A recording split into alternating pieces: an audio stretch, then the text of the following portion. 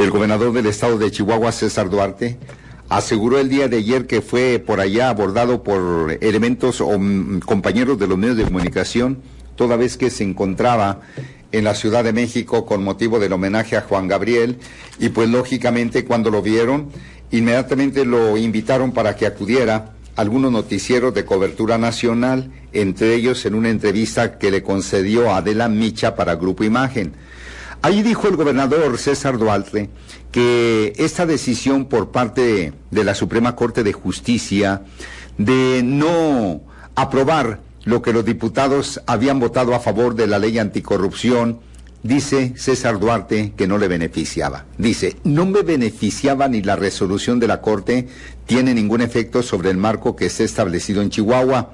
La ley anticorrupción no fue hecha a modo fue un marco constitucional en la ley del 2014 y no se nombró, ni siquiera se, se puso en presupuesto en el 2016, sino hasta en el 2017. Eso fue lo que dijo el gobernador.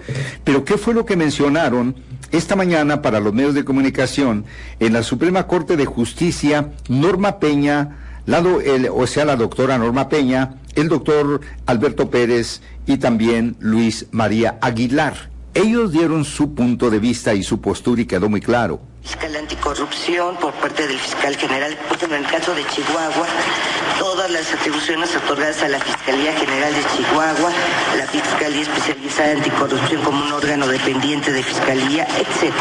La atribución del Congreso para objetar el nombramiento, o sea, todas las consecuencias como actos que se derivaron de esa legislación.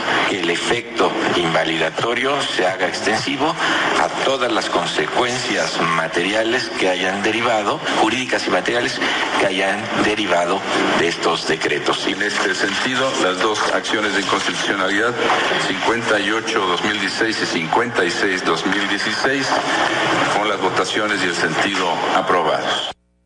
El ministro José Ramón Cosío aseguró que la decisión de la Corte para invalidar la ley anticorrupción en Chihuahua no fue para evitar nombramientos a modo, sino porque los congresos estatales se adelantaron a la promulgación del Sistema Nacional Anticorrupción. ¿Quién les dijo que se adelantara? Esa es la pregunta.